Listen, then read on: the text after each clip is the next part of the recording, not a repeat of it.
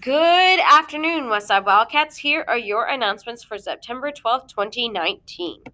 Today's lunch is spicy chicken sandwich and pork tenderloin sandwich. Tomorrow's lunch is mozzarella sticks, breaded ravioli, chicken patty sandwich.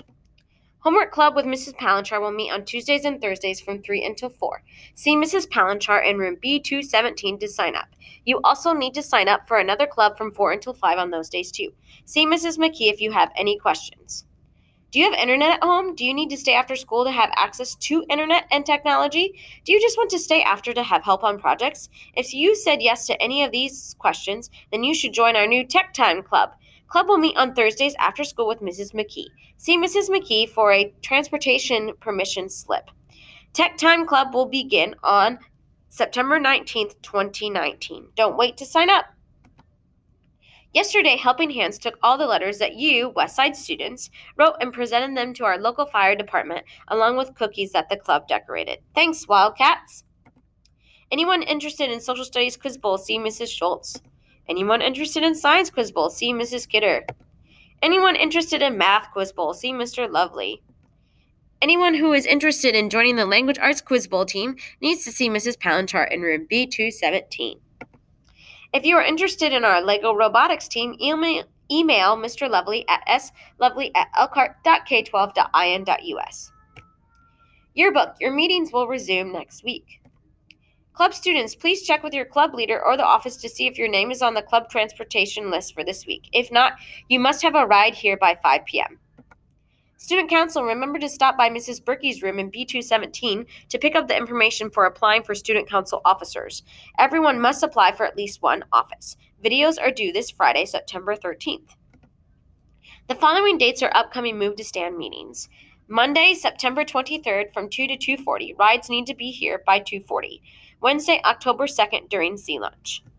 If you are missing items, please check the lost and found in the office. Don't forget to keep your iPad in a drawstring bag or zipper binder. No books should be in your drawstring bag as well.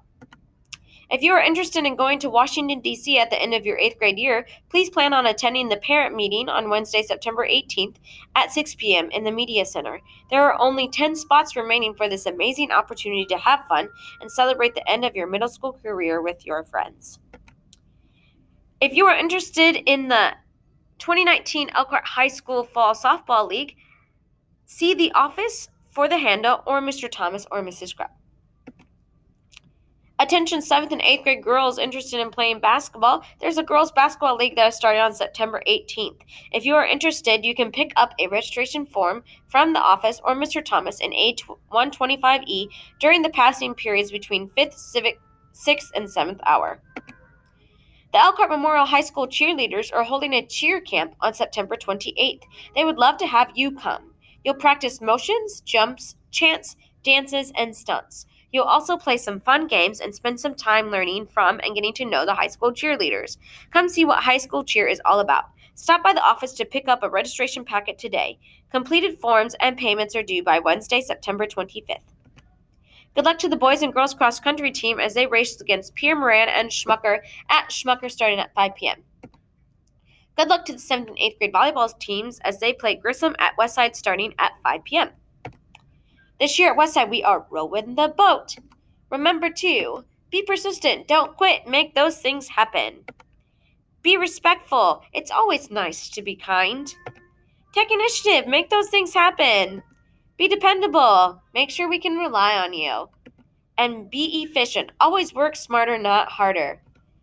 As always, we are pardon me, hashtag WSMS, all in.